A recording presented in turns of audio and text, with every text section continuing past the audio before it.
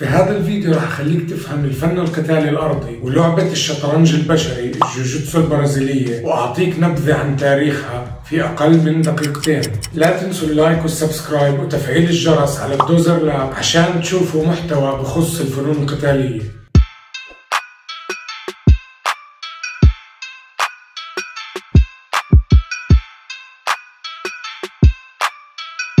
نبذة عن تاريخ الجوجيتسو البرازيلية الجوجيتسو هي كلمة معناها الحرفي الفن اللين أو الفن اللطيف. بدت قبل أكثر من 500 سنة عند مقاتلين الساموراي. في اليابان كان الهدف منها إنهم يلاقوا فن قتالي للقتال لما يكون المقاتل في ساحة المعركة بدون الحصان تبعه وبدون سلاحه وبدون الدرع تبعه بحيث إنه يستخدم جسمه كسلاح. وكمان للقتال ضد شخص لابس درع ثقيل مثل دروع الساموراي سابقا. وتم تسميتها بالجوجيتسو البرازيلية عام 1920 لما وصلت البرازيل عن طريق ميتسويو مايدا وتم تطويرها عن طريق ال Gracie family. ما هي الجوجيتسو؟ هو فن قتالي بمكنك من إنك تسوي عدة مهارات اتجاه الخصم. بتعطي فرصة لشخص صغير حجما أو ضعيف بدنيا بإخضاع أو تثبيت شخص أكبر حجما أو أقوى بدنيا. وبتستند لثلاث أسس رئيسية. أولا حركات الإسقاط تيك داونز أي كل حركة يتم فيها إسقاط الخصم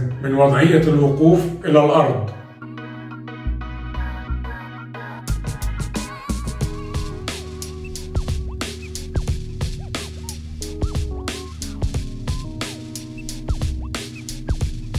ثانيا السيطرة ليفرج تعني القوة أو القدرة على السيطرة على الخصم سواء في الحركات الأرضية أو في أي وضع آخر. من حيث الانتقال من وضعية لأخرى كيفية الهرب أو التخلص من أي وضعية أو مسكة ثالثا حركات الإخضاع submissions. هي حركات بتقوم بإخضاع الخصم إما عن طريق التهديد بكسر مفاصل الجسم